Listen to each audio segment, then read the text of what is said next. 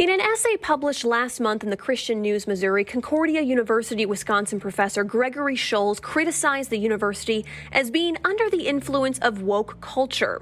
Schulz writes the search criteria for a university president committed to equity and inclusion and promoting racialized diversity in all its myriad forms are aggressive, progressive, woke mantras and are anti Lutheran. According to an internal memo posted online, the university suspended Dr. Schulz four days later as it investigates allegations allegations, including conduct unbecoming a Christian.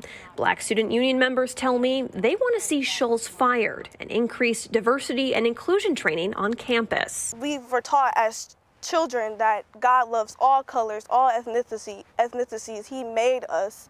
So it, it kind of hurts that a professor here on campus, someone who wants to be in a position of leadership, is against that. The fact that, you know, including us is a threat in and of itself to whatever system he's believing in or whatever system he's operating under is a problem. Others support the professor and what he wrote. An online petition with more than 5,300 signatures calls on the university to rescind and repent Schulz' suspension. There's a disconnect. There's a disconnect here as Lutherans, as students, and as we grow to get our education. In a statement to 12 News, the university says it's currently abiding by the Lutheran Church Missouri Synod dispute resolution process and can share no more information at this time. Caroline Reinwald, WISN 12 News.